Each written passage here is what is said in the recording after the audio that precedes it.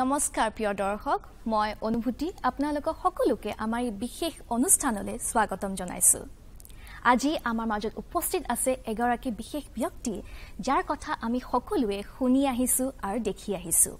তেখেত হৈছে আমাৰ অসমীয়া চিনেমা জগতৰ অতি জনপ্ৰিয় আৰু আমাৰ অতি মৰমৰ Bidyut Kotoky sir.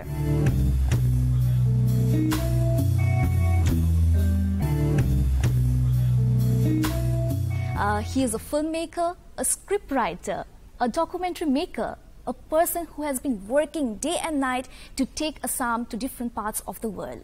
হয় আজি আমি কথা পাতিম বিদ্যুৎ দাৰ সৈতে বিদ্যুৎ দা আমি আপোনাৰ কাম যোনখিনি আছে ফিল্মছ সদায় আমি চাওঁ সদায় অতি প্ৰিয় আমাৰ কিন্তু আজি আমি পোনপ্ৰথমে জানিব বিচাৰিম বিদ্যুৎ কটকীৰ কথা like who is he according to you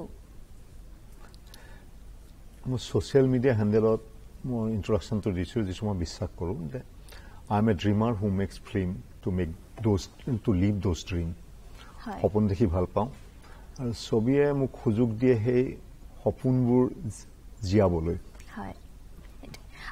আৰু আপুনি সৰু কালৰ পৰাই আপুনি চিনেমা জগতত আহিব বিচাৰিছিলে নে আপুনি মানে আপোনাৰ কোনোবা ইনস্পিৰেশ্যন আছিলে নে এনেকুৱা কিবা ঘটনা ঘটিছিল নেকি? মানে যি কাৰণে আপুনি ফিল্ম চুজ কৰিছে এজ এ কেৰিয়াৰ মানে ওৱান অফ ইনচিডেণ্ট বুলি কোৱা অলপ দিগদাৰ। কিন্তু যেতিয়াৰ পৰা মনত পৰে মই হয়তো স্কুলৰ তলৰ শ্ৰেণীত থাকোঁতেই দ্বিতীয় তৃতীয় শ্ৰেণীৰ সময়তেই মোৰ জীৱনৰ এটাই মানে লক্ষ্য বুলি ক'লে তেতিয়াৰ পৰাই মানে চিনেমা অঁ দুটা আছিল আচলতে। এসময়ত আছিল বোলে ভাৰতৰ হৈ ক্ৰিকেট খেলিম সেইটো এটা অলিক সপোন বুলি যে কয়। কেতিয়াও যিটোৰ প্ৰতি আগবাঢ়ি নগ'লো একো চেষ্টা নকৰিলোঁ মই সপোনেই দেখি থাকিলোঁ। কিন্তু তাৰ বাহিৰে আছিল যে ছবি জগতৰ লগত জড়িত হ'ম। কিয় ঠিক কোৱাটো দিগদাৰ but that those were the only dreams okay আপুনি একদম ইনিচিয়েল ষ্টেজত আপুনি ইণ্ডিপেণ্ডেণ্ট ডকুমেণ্টাৰী আপুনি বনাইছিলে ইণ্ডিপেণ্ডেণ্ট ফিল্ম মেকাৰ হিচাপে আপুনি কাম কৰিছিলে। According to you independent film maker কি হয়?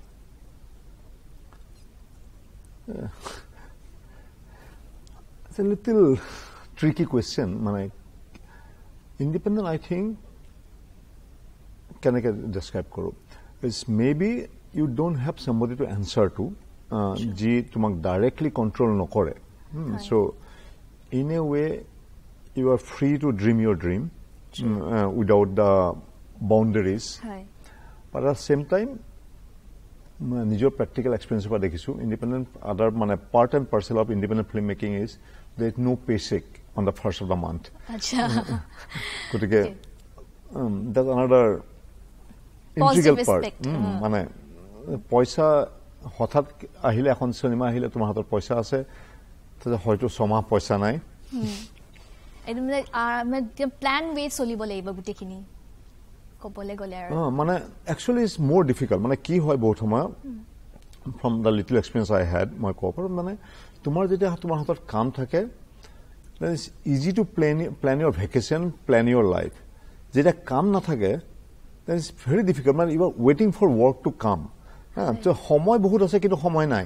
U are ৱেইটিং for something to happen is very difficult to say that okay I will take time off মই ক'ৰবাত মই ট্ৰেভেল কৰি ভাল পাওঁ কিন্তু most of my travel happen when I have work যেটা মই প্ল্যান কৰিব পাৰোঁ মানে এইটো খুব মানে যিকোনো হয়তো ইণ্ডিপেণ্ডেণ্ট ফিল্ম মেকাৰে তোমাক এইটো কথা ক'ব ৱেইটিং for work is a part and parcel of independent film making তাকে। আৰু মই এখন আৰ্টিকেলত পঢ়িছিলোঁ আৰু লাইক আপুনি ইনিচিয়েল ষ্টেজত আপুনি দূৰদৰ্শনৰ লগত আপুনি জড়িত হৈ আছিলে লাইক সুৰভি নামৰ এখন একচুৱেলি আমি যেতিয়া স্কুল কলেজত পঢ়িছিলোঁ সেই সময়ত I think Surabhi early late eighties early নাইণ্টিজত Surabhi actually create a revolution তাৰ আগলৈ আমি ডকুমেণ্টাৰী বুলি জানিছিলোঁ ফিল্ম ডিভিজনৰ ডকুমেণ্টাৰী কিছুমান আছিল যিবোৰ ছবিঘৰত আমাৰ চিনেমা আৰম্ভ হোৱাৰ আগতে চলায় আৰু ডকুমেণ্টাৰীখন শেষ হোৱাৰ লগে লগে মানুহে হাত চাপৰি বজায় যে এতিয়া চিনেমা আৰম্ভ হ'ব। That was our idea of documentary কাৰণ কেবল টিভি নাছিল তোমাৰ ৱৰ্ল্ডৰ বেলেগ বেলেগ ডকুমেণ্টাৰীৰ লগত আমাৰ কোনো মানে পৰিচয় নাছিল। I think all those has change by Surabhi where infotainment যিটো আৰম্ভ হৈছিল এক্সিডেণ্টলি মই তাৰ লগত জড়িত হৈ পৰিছিলোঁ মই মাছ কমিউনিকেশ্যন কৰি আছিলোঁ পুনেত নাইণ্টি থ্ৰী নাইণ্টি ফ'ৰ আমাৰ এনুৱেল ডে সিদ্ধাৰ্থ কাক সুৰভিৰ তেওঁ আহিছিল আৰু he was the chief guest আৰু সেই সময়ত আমি এখন ষ্ট্ৰীট নাটক এখন কৰিছিলোঁ যিখনৰ ৰাইটাৰ ডাইৰেক্টৰ মই আছিলোঁ আৰু এটা পাৰ্টো কৰিছিলোঁ নাটকখনৰ পিছত তেখেতে মোক মাতিছিল যে তুমি বম্বেলৈ আহি পেলাই জইন কৰিবা নেকি? Actually I was doing my post graduate in economics along with my diploma গতিকে মোৰ দুবছৰ ডিপ্ল'মা এবছৰীয়া আছিল পষ্ট গ্ৰেজুৱেট দুবছৰ আছিল।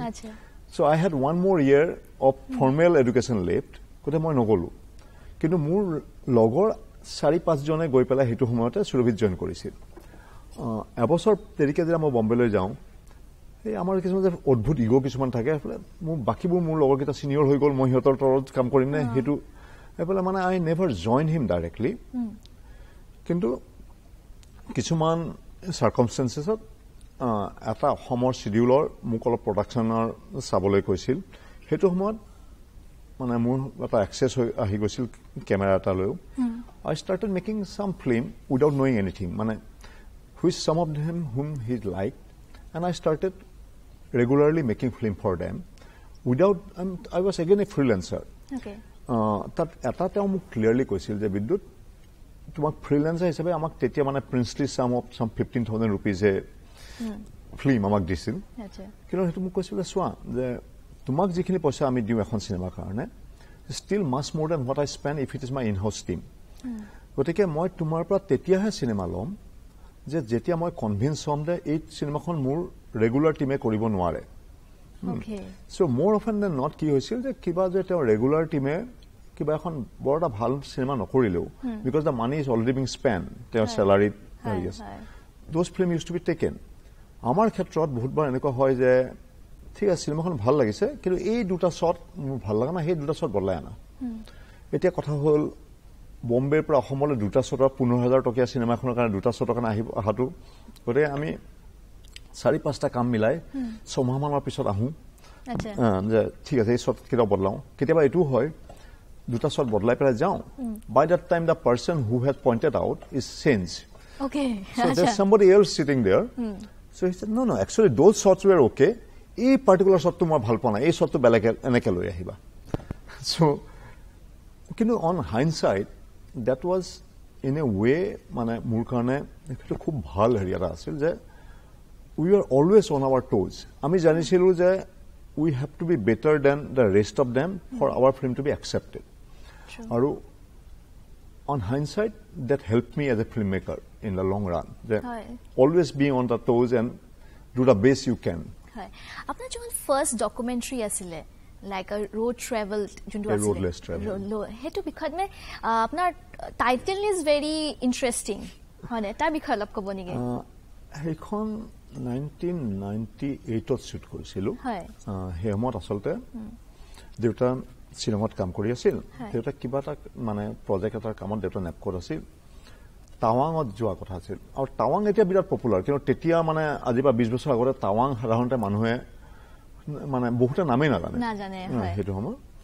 মোক সুধিলে বম্বেত ফোন কৰি সুধিলে আহিবি নেকি? দেউতা জানে যে মানে ফুৰি ভাল পাওঁ। আহিম। চ' আমাৰ তিনিটা বন্ধু দেউতাৰ অফিচিয়েল হেৰিৰ লগত আমি গুচি গ'লো। Just carrying the camera along আমি নাজানো মানে we just shoot along the way. আৰু it was almost as if মানে ইউনিভাৰ্চ কনস্পায়াৰ কিছুমান বৰ ইণ্টাৰেষ্টিং ইনচিডেণ্ট হঠাতে আমি দেখিলোঁ মানে midst of no' where there যে মানে ক্ৰাউড গম পালোঁ যে ৰি ইনকাৰ্নেশ্যন অফ এ ৰিম্প'ছে তাত হৈ আছিল তোমাৰ। কি ঠাইখনৰ নামটো পাহৰিছোঁ। এনিৱে এলং দ্য ৱে মানে তেনেকুৱা কিছুমান বিৰাট ইণ্টাৰেষ্টিং ইনচিডেণ্ট আমি কেপচাৰ কৰি গ'লোঁ। And till that time we had no' idea কি কৰিম। আহ, যেতিয়া আমি ফাইনেলি মানে সেই এসপ্তাহৰ টুৰটোৰ পিছত উভতি আহিলোঁ and we reach Mumbai we thought suddenly we realize that we have a interesting footage যিটোৱে হয়তো এখন ইণ্টাৰেষ্টিং ট্ৰেভেলক হ'ব পাৰে we had not shot exactly like a tra- মানে planned way. কিন্তু we just started assembling. And I think it was an interesting মানে এ, কোন কোন- মানে সাংঘাতিক কিবা হোৱা বুলি নকওঁ but it was a interesting ট্ৰেভেলক at that time হয়।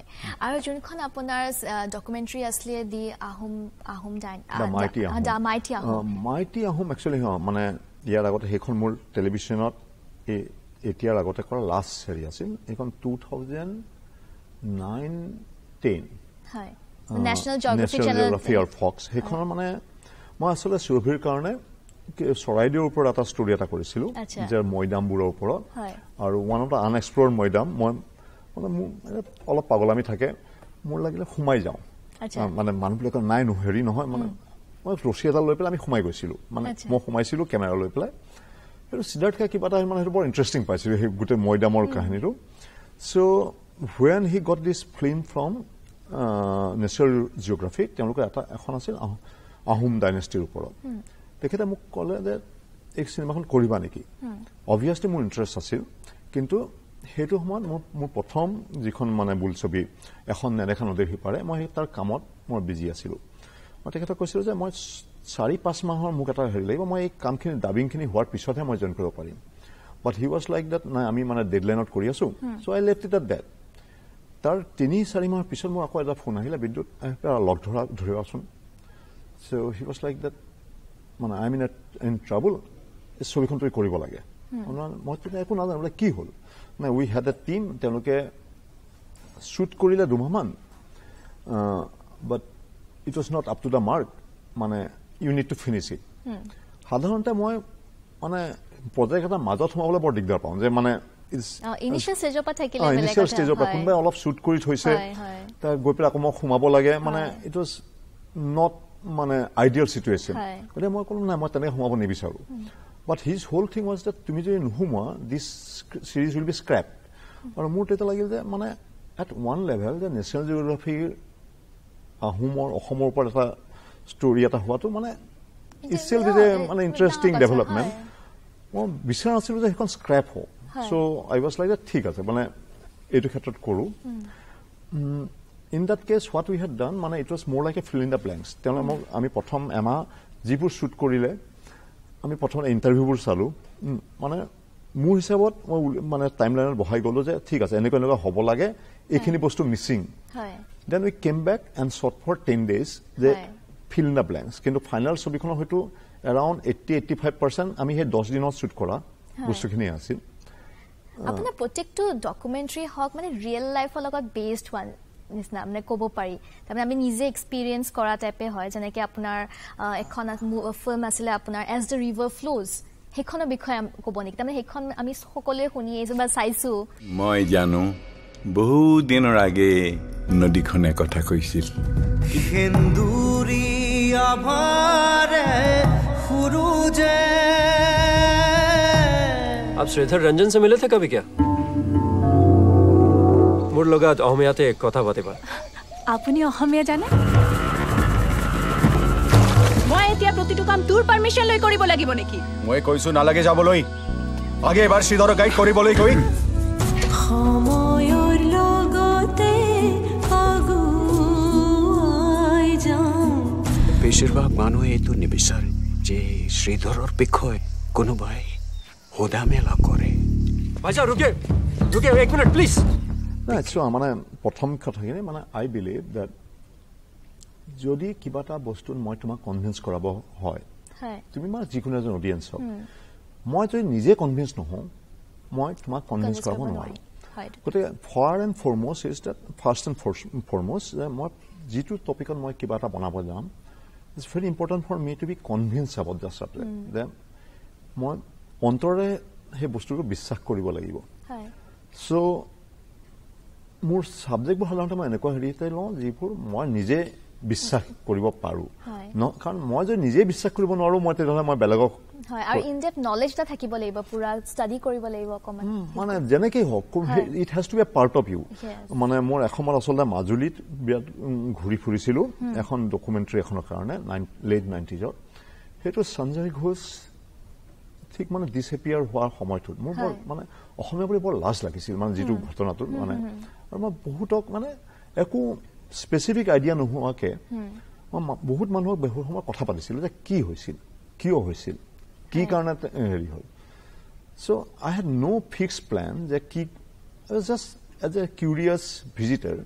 Uh, I was trying to understand the situation. পিছত মানে ইন আৰ্লি টু থাউজেণ্ড হেৰি টু থাউজেণ্ড দশকৰ আৰম্ভণিত এট ওৱান লাইন লাইন মানে দেৰ ৱাজ এ ৰিয়েলাইজেশ্যন যে ডকুমেণ্টাৰী কৰি আছো মানে ডকুমেণ্টাৰী বাই ডিফল্ট কৰা আৰম্ভ কৰিছিলোঁ। ফুৰি ভাল পাওঁ সুৰভি হ'ল তাৰপিছত এখনৰ পিছত এখন হৈ গ'ল। দেৰ ইজ ন' মানে কমপ্লেইন ফুৰি ভা- মানে it gave me lot of excuse to travel কিন্তু অকল ডকুমেণ্টাৰী কৰিবলৈ বিচৰা নাছিলোঁ। আমাৰ always wanted to make film কিন্তু আৰু মানে এটা কি হৈ যায় যে তুমি এটা বস্তুত আঠ দহ বছৰ যোৱাৰ পিছত when you try to change team মানে not that easy. ইজি মানে আকৌ you don't want to start from the scratch. then I started asking myself যে কি কৰিব পাৰোঁ? কেনেকুৱা ছাবজেক্টত কৰিব পাৰোঁ? আৰু এটা ভয় আছিল সেইটো সময়ত যে ঠিক আছে মই এখন এটা মানে ভাল ষ্টৰি এটা লিখিলোঁ হেৰি কৰিলোঁ কোনোবা এজনৰ ওচৰত গ'লোঁ। What if that person just steal the idea সেইটো মানে সদায় হেৰি এটা। থাকে। চ' আই ডিচাইডেড দেট মানে চাৰি পাঁচটাৰ হেৰিৰ মাজত I thought that this one is the most risky one যিটো সাধাৰণতে মানুহে সাহ নকৰিব চুৰ কৰিবলৈ। চ' সেইটো মানে my whole thing was fictitious that Sanjay Ghosh July nineteen ninety ছেভেনত disappear হ'ল সেইটো সময়ত it was a news as per Indian law এজন মানুহ ডিচেপিয়াৰ হোৱা সাত বছৰলৈ যদি তেখেতৰ ডেড বডিটো নাপায় he cannot be declare dead সাত বছৰৰ পিছতহে ডিক্লেয়াৰ কৰিব পাৰে। So' one day the idea came to me that মানে যেতিয়া আচলতে সাত বছৰ হ'ব আহিছে সঞ্জয় ঘোষৰ ডিচেপিয়াৰেঞ্চৰ we have forgotten about him আচ্ছা সেইটো হয়। মানে কাৰণ বস্তুবোৰ আমাৰ বৰ খন্তেকীয়া হয় আৱেগবোৰ। হয়। So' that was the beginning of as the river flow' the story এখন নেদেখা নদী সিপাৰে যে এজন ফিটিচিয়াছ কেৰেক্টাৰ এজনে দিছ- কিবা কিছুমান চাৰ্কমষ্টেঞ্চত পৰি মই আমি মানে অভিয়াছলি আমি তেখেতৰ নাম সঞ্জয় ঘোষৰ নাম লৈ- মানে কাৰণ ইয়াৰ বহুত কপিৰাইট মানে ৰাইট চাইডৰ কথা আহে গতিকে আমি। তেখেতৰ নাম দিয়া নাছিলোঁ কিন্তু মানে one character goes missing his friend, childhood friend, who was a journalist, just because this person is about to be declared dead, হয়। He can uh, something happened and he thought that I need to know what actually happened to him. Is an unanswered question. So he goes back to Majuli to try to find out what had happened to his friend at that time. And it was almost as if history repeating itself. Things started happening to him the way it perhaps had happened to his friend. আচ্ছা সেই বেকড্ৰপটোক লৈ ছবিখন কৰিছিলোঁ আৰু মানে at that time when I started writing about the writing the script I realize that বহুখিনি research unknowingly মই কৰি থৈছিলোঁ আমাৰ ডকুমেণ্টাৰীৰ সময়ত আচ্ছা। So' I didn't really had to go' back to do the research সেইখিনি অলৰেডি আছিল হয় আৰু এখন আপোনাৰ আছিলে the guns and the guns and and guitars.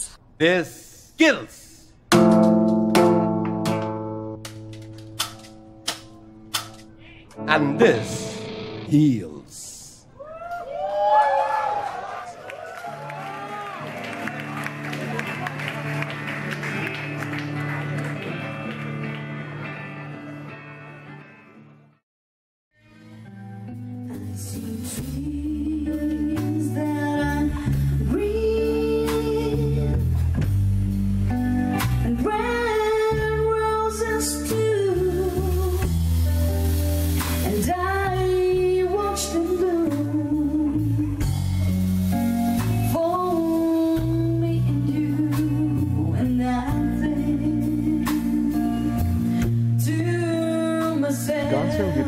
আচলতে আমি প্ৰথমে ভাবিছোঁ ছমাহৰ প্ৰজেক্ট এটা বুলি ভাবিছিলোঁ। but it ended up taking six years of my life. মানে টু দ্য এক্সটেণ্ট আমি ৰাতি ডেৰটা বজালৈ এডিট কৰি আছিলোঁ মোৰ ৱাইফ পল্লৱী তাই এডিট এডিটৰ মানে। ৰাতিপুৱা সাতটা বজাত আমি হস্পিটেলত for the delivery of my daughter okay and seven day we are back in studio'. Editing the film with the daughter আৰু মই নিজে বিশ্বাস নকৰিলোঁ হয় এতিয়া যে মোৰ ছোৱালীজনী মৌ যেতিয়া ডাঙৰ হয় I have realize she react differently to blowing in the wind as compare to other song কাৰণ throughout the pregnancy the film edit was going on and blowing in the wind was one of the prominent song আচ্ছা। আৰু ইয়াত বৰ interesting ঘটনা এটাও আছিল নহয় মানে ছবিখন আমি ৰেডি কৰিলোঁ এম টি ভিয়ে এবাৰ মাতিলে। খুব ভাল পালে ছবিখন চাই পেলাই মোক সুধিলে বোলে ঠিক আছে is a nice film is a lot of have you taken copyright of the songs you are using I was a fool মই বোলে কপি লুৱে গাইছে লু মাজাও যি বব দিলান হেৰি কৰি। ফুৰে? নাই নাই দেৰ চামথিং ফৰ পাৰফৰ্মিং ৰাইট গান যদি ইউজ কৰিছা you have to take the right from Bob Dylan otherwise he will sue watch for millions of dollar so' get the rights by the time the film is almost ready Okay. So' I was like the ক'ৰ পৰা পাম চাৰিওফালে বিচাৰি মই look phone কৰিলোঁ লুৱে ক'লে বোলে I only know' his manager Jeff Rosen and Okay. His P O' box post office box number is there Okay. You can write a drop a letter আজিকালি যুগত কোনে তোমাৰ লেটাৰ ড্ৰপ কৰে. মই ইণ্টাৰনেটত বিচাৰি ফুৰিছোঁ চবে কৈছে he's a recluse he only gives the post box number উপায় নাই এখন লেটাৰ ড্ৰাফ্ট কৰিলোঁ চিনেমাখনৰ লিংক এটা পঠিয়াই দিলোঁ এখন ৰেজিষ্টাৰ পোষ্ট এবছৰলৈ একো এনচাৰ নাই মই নাজানো ট্ৰাই কৰি আছো। Out of the blue moon এদিন মোলৈ এখন মেইল আহে জেফ ৰচনৰ পৰা। Sorry your letter got misplaced in the midst of thousands of letters that's why took miss that long হয়। After going through the content we have decided to waive off all the rights. You are free to use of the, all the Dylan songs in your film. বাহ বঢ়িয়া মোক মানুহে কৈছে বোলে এইটো সম্ভৱ নহয়। বোলে দিলানা মানে known to be a little strict. Guy is that who's never going to let go of a single penny. How it is possible this is the letter officially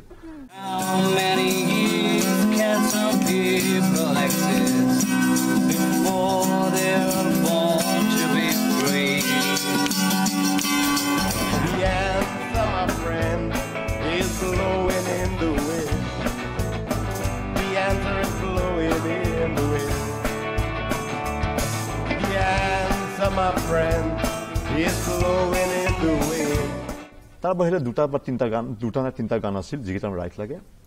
road এটা ৰাইট আছিল ইউনিভাৰ্চেলত road to them sing the Dylan has waive off all the right for of his song sing the film so' can you can you show us the letter from Dylan মানে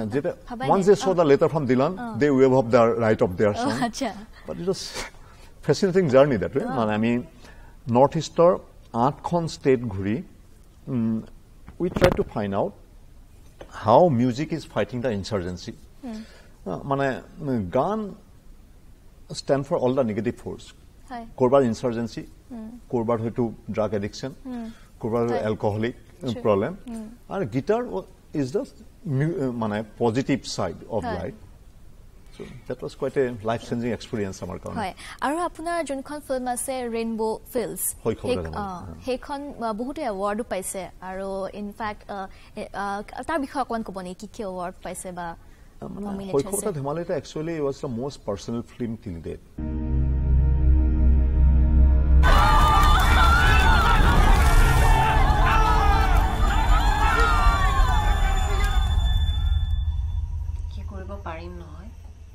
পাৰোঁ Your Assamese still needs working. Not only my Assamese needs working, the whole of Assam needs working. A lot of working. সেই যে ৰায়ত হৈছিল সেই জেগা টুকুৰাত নেলি আমি ইয়াত বহি নদীৰে উটি যোৱা মৰা মানুহবোৰ গন্তি কৰিছিলো এদিন আমি চল্লিছটা গন্তি কৰিছিলো জান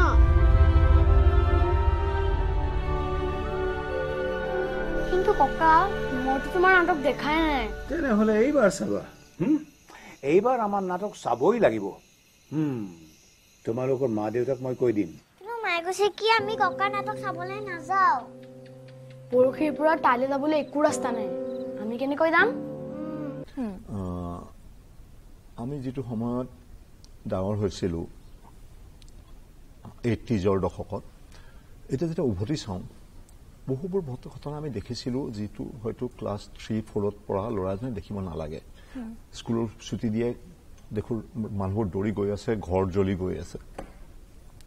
আমাৰ ঘৰৰ বাৰীত মানুহ এজনে কেঁচুৱা এটা লৈ লুকাই আছে চকু মুজিলে মই স্পষ্ট দেখা পাওঁ। মানে এটা গেঞ্জি পিন্ধি আছে।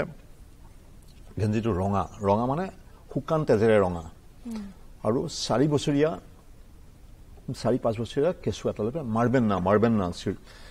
মানুহজনৰ জাতি ধৰ্ম নাজানো জানা দৰকাৰ নাই কিন্তু সেই ইমেজটো মই পাহৰিব নোৱাৰো চকু মুজিলে এটা স্পষ্ট যেতিয়া মৌ মোৰ জীৱনলৈ আমাৰ জীৱনলৈ আহিল দুহেজাৰ তেৰত মোৰ আমাৰ ছোৱালী এই বস্তুটোৱে মোক বেছি ডিষ্টাৰ্ব কৰা আৰম্ভ কৰিলে যে we say we don't own this world we have borrowed it from our children what kind of world are we living behind for our children হয় মোৰ লাগিলে যে ক'ৰবাত যদি মই মোৰ চকুলৈ চাই কথা পাতিবলৈ হয় I need to do something about it it's not to say যে তুমি এখন চিনেমা বনাবা পৃথিৱীখন ঠিক হৈ যাব but not doing anything is not the answer তাৰ পৰাই আৰম্ভ হৈছিল শৈশৱতে ধেমালিতে আপুনি যেনেকে দেখি আহিছে যেনেকে আপুনি প্লেন কৰিছে মাইণ্ডত ভাবিছে সেইটো একজেক্টলি আপুনি প্ৰজেক্ট কৰিব পাৰেনে এখন ফিল্মৰ থ্ৰুদি কিছুমান কেতিয়াবা মই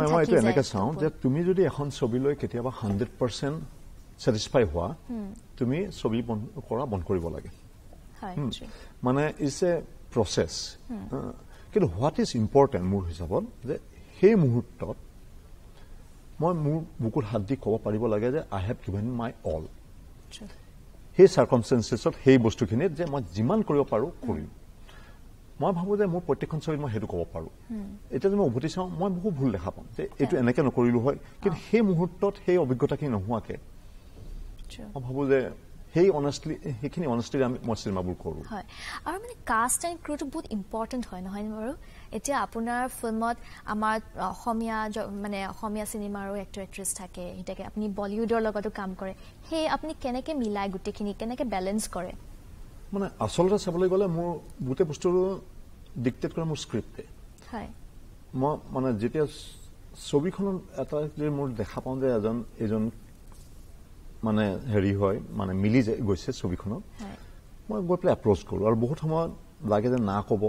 কিন্তু নুসুধালৈ মানে খুব বেছি কি সুধিলে খুব বেছি না ক'ব। নুসুধালৈতো আমি নাজানো।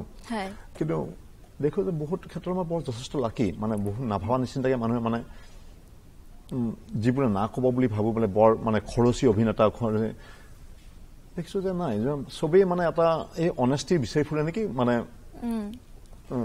সেই অসুবিধাটো হোৱা নাই তেনেকে। আৰু আপোনাৰ ফিল্মখনে বেষ্ট ফৰেন ফিল্ম হিচাপে পাইছে নহয় জানো? এৱাৰ্ডটোৰ বিষয়ে পাই পেলাই মানে আমাৰ অসমৰ পৰা আপুনি গৈছে অসমৰ ষ্টৰিজ আপুনি দেখায়। আনচাৰ ছবিখনে মই গোটেই ঠাইতে মৰম পালে।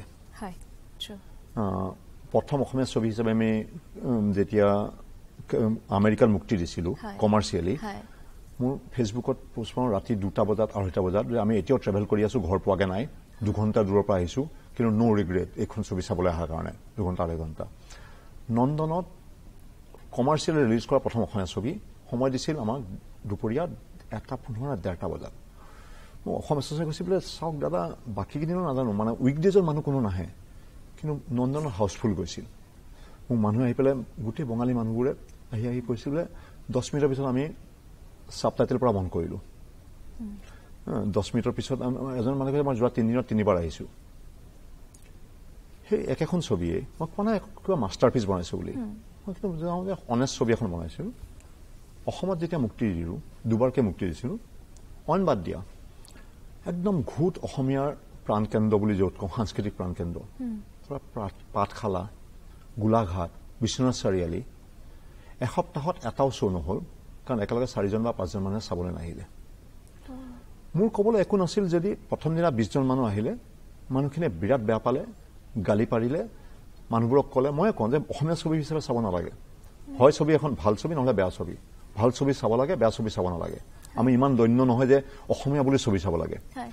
কিন্তু প্ৰথম দিনা আপোনালোকে ছবিখন চাবলৈ আহক দহজনে। চাই পেলাই আপোনালোকে ডিচাইড কৰক এইখন বিৰাট বেয়া ছবি। চবকে কওক যে নাহিব। এদিনো যদি মানুহ নাহিলে মই তাত কি ক'ম? গতিকে মৰম আমি সকলোৰে পৰা পালোঁ। অসমৰ মানুহখিনি ইণ্ডিফাৰেণ্ট কি মানে চাবলৈ নাহিলে।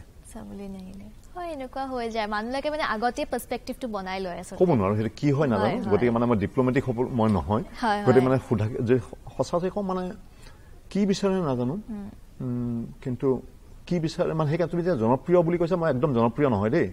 মানে মোৰ ছবি মান চাবলৈ মানুহ নাহে। নাই তথাপিও আমি মানে আপোনাৰ কথা সদায় পঢ়ো বা আমি অনলাইনো আপুনি মোক এজন বন্ধুৱে কৈছিল এসময়ত মানে একো মই উপমান হেৰি দিবলৈ কোৱা নাই বোলে জানানে? বোলে এ, এসম হেৰিত বোলে পৃথিৱীত নপঢ়াকে চবতকে মানে প্ৰেজ কৰা ৰাইটাৰজন হ'ল শ্বেক্সপিয়াৰ নপৰাকে চবতকে গালি দিয়া ৰাইটাৰজন হ'ল ৰাজনীশ মোৰ তেনেকুৱাকৈ হেৰি লাগে মানে কিছুমান বস্তু ছ'চিয়েল মিডিয়া ফেচবুকত শুনি থাকিবলৈ ভাল। কিন্তু যদি ভাবোঁ যে এখন ছবি যেতিয়া বনোৱা তুমি কাৰ কাৰণে বনোৱা? যে অসমীয়া যদি বনাইছোঁ অভিয়াছলি মই ভাবোঁ যে অসমৰ কাহিনীটো বাহিৰত নিবলৈ বিচাৰোঁ। আৰু মোৰ সেইটো জেদ থাকে যদি আমি এখন ফৰাচী ছবি এখন ইৰাণিয়ান ছবি ছাবটাইটেলেৰে চাব পাৰোঁ এখন অসমীয়া ছবি ছাবটাইটেলে মানুহে কিয় নাচাব? সেই জেদটোত মই ভাবোঁ বহুখিনি মই মানে মোৰ সফল হৈছোঁ। যেতিয়া একো অসমলৈ একো লাভৱান নাথাকা মানুহে মোলৈ মেইল কৰে হোৱাইট আমেৰিকান এজনে মেইল কৰে যে এইখন ছবিয়ে মোক ধৰি ৰাখিলে। মই একোৱেই নাজানো। নিউয়ৰ্কত মোৰ যেতিয়া দুপৰীয়া দহটা বজাৰ শ্ব'ত মই দেখোঁ যে eighty percent white am- American আহি পেলাই চাইছে ছবিখন। অসমৰ এজনো নাই। কিন্তু গোটেই হাউচফুল গৈছে। কিন্তু অসমৰ কথাত মানে মই অলপ মই নাজানো মানে হয়তো হয়। মই দিব পৰা নাই বা তেওঁলোক মই বুজিব পৰা নাই এতিয়ালৈ মই নাজানো সেইটো। কিন্তু আপুনি বহুত ভাল কাম কৰি আছে। আমি অসমীয়া কথা আপুনি আমি বাহিৰলৈ আপুনি ডিফাৰেণ্ট পাৰ্টছ অফ ৱৰ্ল্ডলৈ আপুনি লৈ গৈছে। সেইকাৰণে তাৰ বাবে বহুত ধন্যবাদ। আৰু আজি আমাৰ আমাৰ লগত কথা পাতি খুবেই ভাল লাগিলে। আৰু মানে আপুনি ইমান কথা আমাৰ লগত শ্বেয়াৰ কৰিলে। থেংক ইউ ছ' মাছ প্ৰিয় দৰ্শক আমাৰ এই আজি এই অনুষ্ঠান আমি ইয়াতে সামৰণি কৰিলোহি। আহ, আহকচোন আমি এটি অতি প্ৰিয় গান এটা শুনো বিদ্যুৎ দাৰ এখন চিনেমাৰ।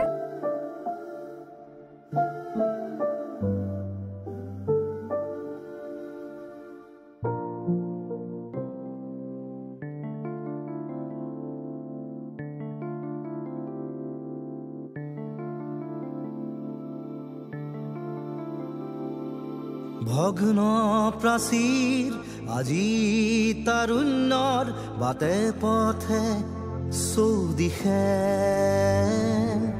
ভগ্ন প্ৰাচীৰ আজি তাৰুণ্যৰ বাটে পথে চৌদিশে। পৰাজিত লুণ্ঠিত জীৱাত্মাৰ পৰাজিত লুণ্ঠিত জীৱাত্মাৰ সমদল মূৰ্ছিত। আজি শত কলিজাৰ দাবানত ভাঙি